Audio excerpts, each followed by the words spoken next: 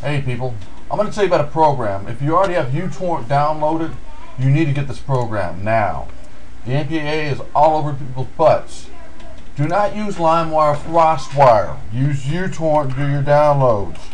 If you want any software, music, anything like that, go to PeerBlock website. Alright, go to downloads right here. You're going to see a, the release, it's a stable release. Alright, I clicked onto that. Go down to where it says PeerBlock 1.1 installer. Hit run.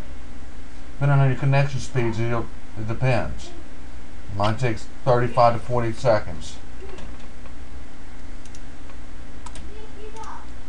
running that program there. I don't want to be running that, so my speeds bump up. Uh, the servers fluctuates back and forth, back and forth. But watch how I load this software. This will cover your butt from the MPA or P2P, blah, blah, blah, blah, from downloading, you know, uh, music, movies, software, you name it. This stops them.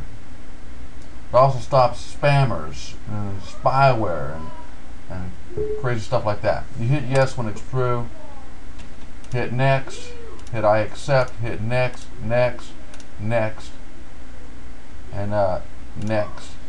You want to create a desktop icon, hit next, hit install.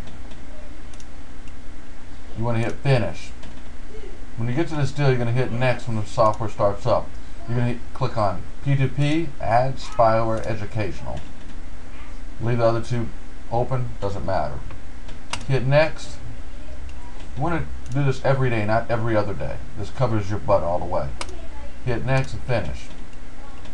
What's going to happen is it's going to go to the the, the, the places where it needs to get the downloads. It, it, it verifies, updates the, the, uh, the list.